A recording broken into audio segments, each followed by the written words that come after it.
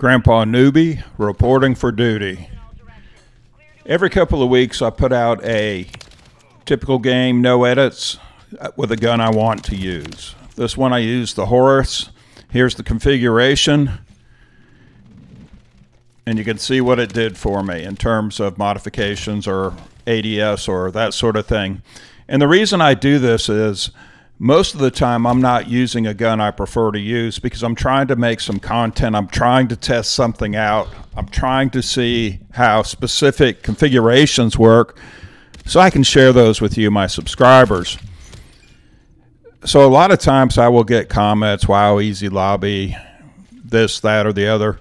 Um, and, and I understand that. There are various levels of play, and I'm sure most of you guys out there play at my level or better much better in some cases. I've played against pros, and let me tell you, they are better significantly. So I put this out here to get comments back to help me out so I can improve my play. I also invite people to join me that comment on the lobbies because if they are significantly easier, then it's your opportunity to play in an easier lobby and to do the things you want to do. I have had some of you join on me, and I enjoy it every time. But please let me know you're there so I can turn my headset on and and actually talk to you because a lot of times I don't even wear a headset. The last guy that joined on me, I was so glad he joined because he wanted to get easy lobbies. Well, the first lobby I think was easy for both of us. It was a stash house team death match and I think I ended up with 52 kills over a 4 KD. He ended up doing quite well himself also with over a 3 KD, somewhere less than that. Now, we had a good conversation going. We went into our second game, which was an emergency map, team deathmatch. And these guys absolutely shredded us, the competition. They were all wearing their blacked rank play skins and I knew it was going to be tough, and it was. And it ended up us getting shredded. Like I said, we lost. Now, everybody in the team, except for me, had a maximum of a 0.6 KD. The guy that joined on me, looking for easy lobbies, ended up with a 0.48 KD. I ended up with a 1.28 KD in the loss. And unfortunately, the guy left before we could talk about it afterwards or play another game. I hope he comes back because I really enjoyed playing with him. So here's how I typically play. It's probably a typical lobby. Some are easier than others. Some are, like I said, all ranked players that are teamed up, playing like Shotzzy and Scrappy and Abezy and Celium and those guys. But I tend to do about the same in those lobbies as I do in the ones that are easy. Um, interested in your comments, though. How can I improve my game? This is free for all. So I like that because I play solo 99% of the time. I do sometimes join up with my son and his friends in college, and that's always a lot of fun because they are good players and we get really tough lobbies. And we ended up doing well because we can coordinate with each other.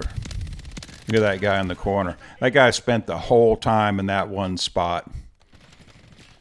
So, being a solo player, I can't rely on anybody else to hop on the hard point. Sometimes I get a good team that wants to win or to grab a flag in domination I think my win percentage is about 1.2 to 1.3, somewhere in that range. I haven't checked it recently. It was 1.24 last time I checked.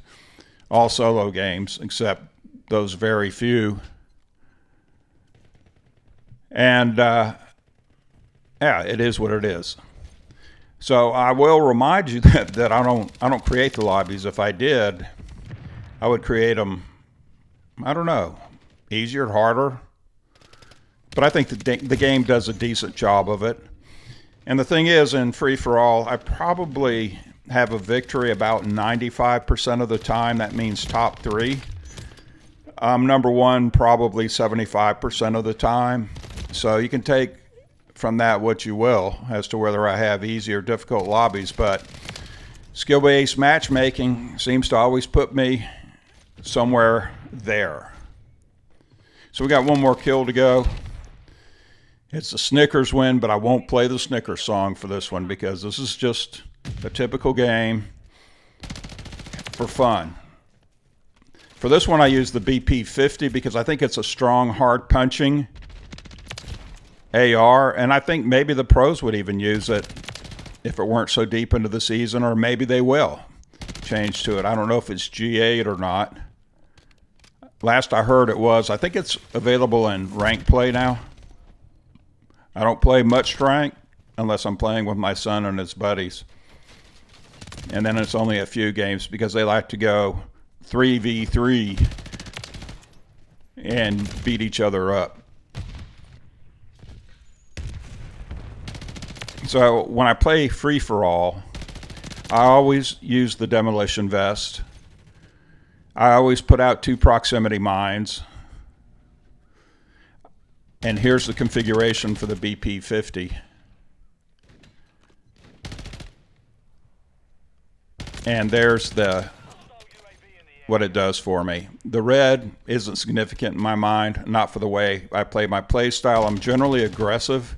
I get gacked by a knifer. And I will vary the gloves. I tend to like quick grip even with sniping because in free for all you want to be able to switch very, very quickly. I will also trade a death for a kill in free for all. because the key is kill as many as you can. Get the Gackaroo going, and if you have to buy the farm, do it. I always play with a turret, but you'll see on this one, I think I died three or four times putting the thing out. But I had enough of a, of a lead that I decided to try to put it in the primo spot, which is up top. I get gacked again.